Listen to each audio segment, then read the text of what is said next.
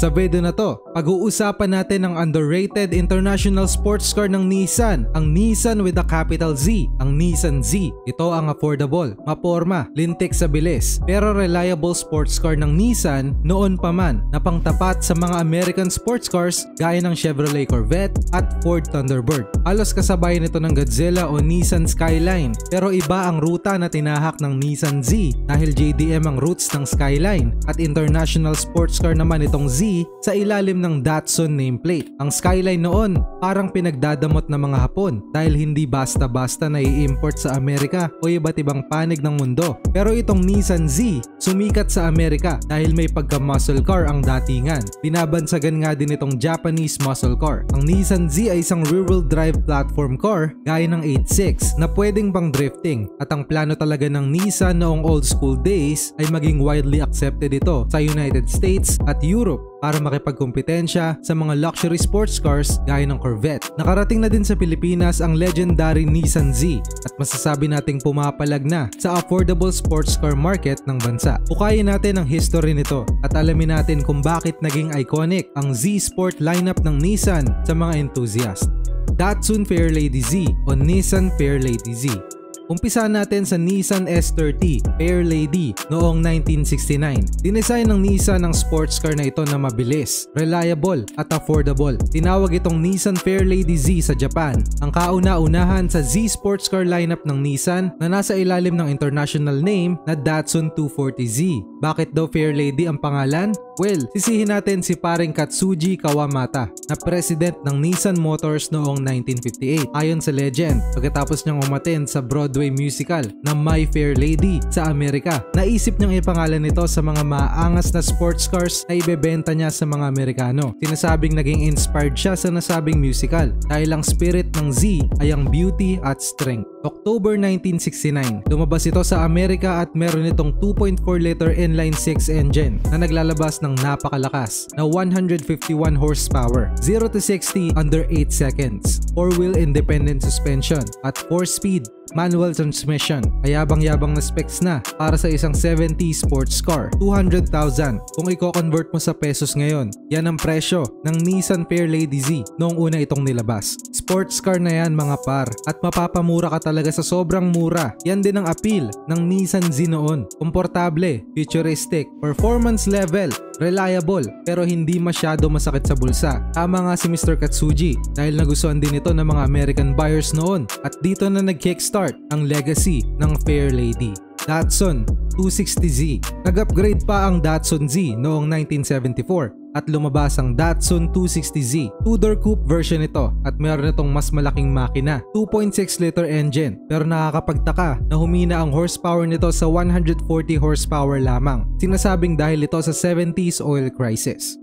Datsun 280Z Noong 1978, Lumabas naman ang Datsun 280Z o Nissan Fairlady S130. Depende sa lugar. Ang bentahe naman nito ay comfort over speed dahil sinasabing mas pinagtutuunan ng pansin ng Nissan ang pagiging luxurious nito. Updated version lang din ito ng naunang 260Z. Ginawa para sa mga sosyal na party people noong 70s na nagpe-flex ng kanilang mga sports car sa ballroom o sa school nila. Ang marketing pa ng Nissan dito ay ang ultimate luxury sports car at hindi natuwa dito ang mga car enthusiast dahil hindi na nila makita ang pagka-sports car nito sa sobrang bagal, mabigat, masakit sa mata at mabagal. Yan ang karaniwang pintas dito sa S130. Meron itong L28 inline 6 engine at naglalabas on paper ng 135 horsepower. Pero nakita agad ng Nissan na hindi natutuwa ang mga car enthusiast dito at ibinalik ang pagka-sports car nito. Noong 1981, naglabas ang Nissan ng Datsun 280 ZXT. Oo mga pre, kinabitan nila bigla ng turbo ito pagsapit ng 1980s at dihamak din na bumilis ito sa 180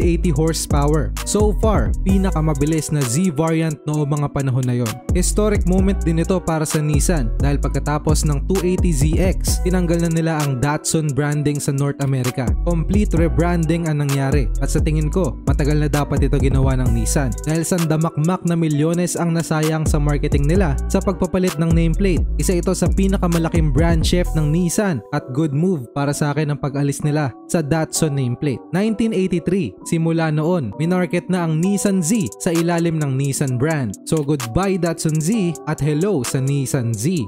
Nissan 300 ZX sa opinion ko, ito ang pinakamagandang old school Nissan Z sports car design, ang Nissan 300ZX. Meron itong dalawang design form, ang Z31 at ang Z32. 1984, lumabas ang Nissan 300ZX, Z31. Kasagsagan nito ng boxy looking cars noon. May pagkakahawig ang boxy design features nito sa 1980s Lamborghini sports cars. Nag-double down ng Nissan dito sa Z31 dahil mas na-improve nila ang aerodynamics nito at halimaw ang power power. Ano pa ang bago? Well, kinabitan nito ng pinakaunang mass-produced 60-degree 3-liter V6 engine na mas efficient at mas malakas. Nilagyan din ito ng Nissan ng slip differential at nagkaroon na din ng 3-way electronically adjustable shock absorbers na halos peak technology noon. Ang naturally aspirated version nito ay may VG30E engine na naglalabas ng 160 horses habang ang turbo version VG30ET naman ay naglalabas ng 200 horsepower. Men, halos kasing bilis ng Skyline sa kaparehas na taon. Sa mga panahon na lumabas ang Z31, wala nang maireklamo ang mga enthusiast. Maganda na ang interior design, lintik pa sa bilis ang sports car na to. Pag-usapan naman natin ang Nissan 300ZX Z32, ang ultimate form ng 300ZX. Digital 3D CAD software rendering na ang design work dito.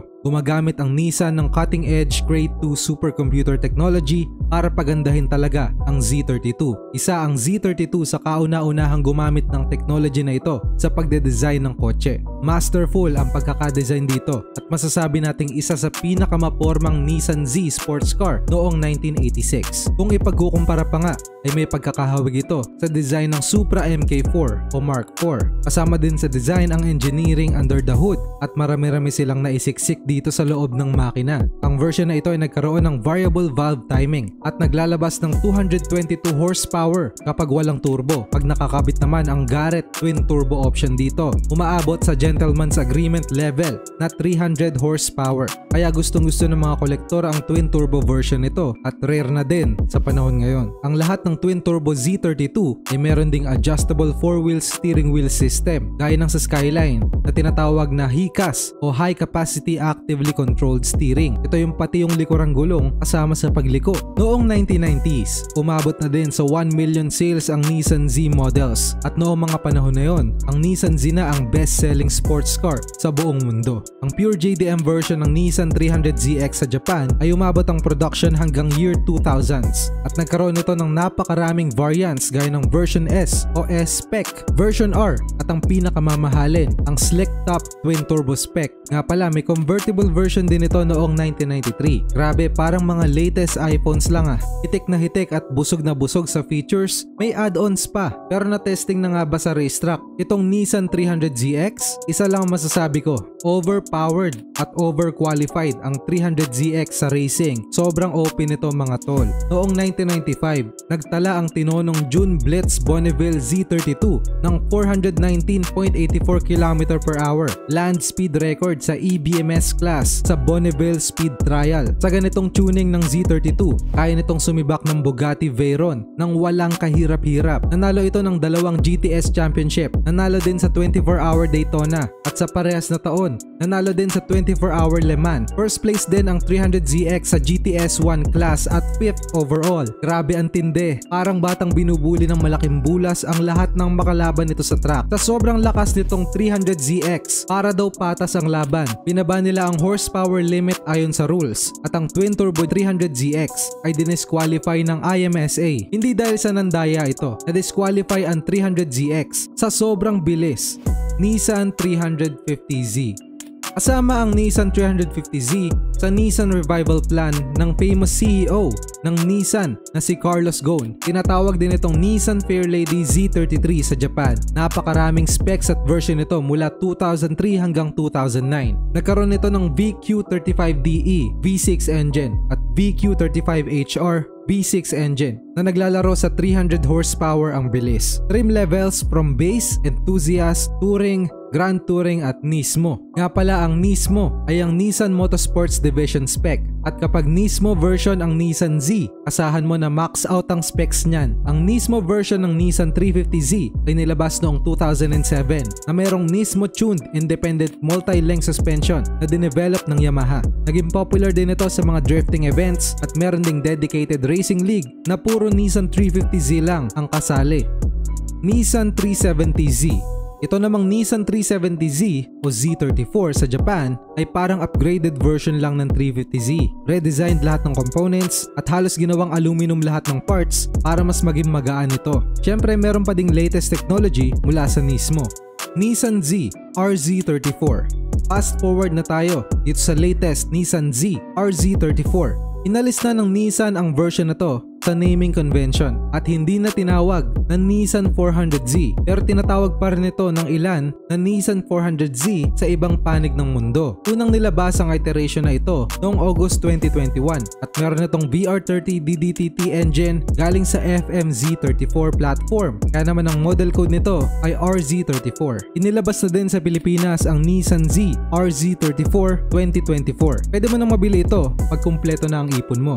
Under the hood, meron itong 3-liter twin-turbo V6 engine na kaya maglabas ng 400 horsepower. Ang 6-speed manual at 9-speed automatic version nito ay may estimated price na 3.9 million pesos. Asakto lang para masabi natin na isa ito sa mga budget sports cars dito sa Pilipinas. Mula noon hanggang ngayon, huling-huli pa din ng Nissan ng essence ng kauna-unahang Nissan Fairlady Z. Affordable, maporma, astig, lintik sa bilis, pero reliable. Ito ang Nissan Z, ang sports car ng Nissan. Please share this video kung nagustuhan mo at i-comment mo naman ang feedback mo below. Pinabasa ko po lahat yan. Maraming salamat sa suporta nyo sa ICTV at salamat sa panonood.